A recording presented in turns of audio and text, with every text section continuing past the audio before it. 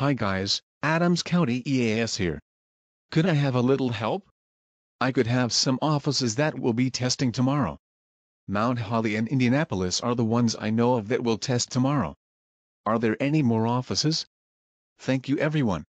This is Adams County EAS, signing off.